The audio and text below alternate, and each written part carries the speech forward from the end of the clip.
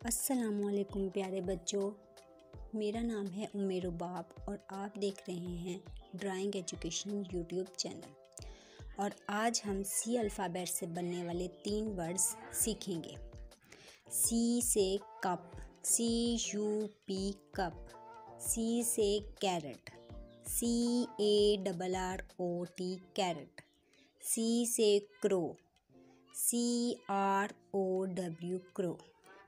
प्यारे बच्चों, हम इन्हीं वर्ड्स को दोबारा रिपीट करते हैं।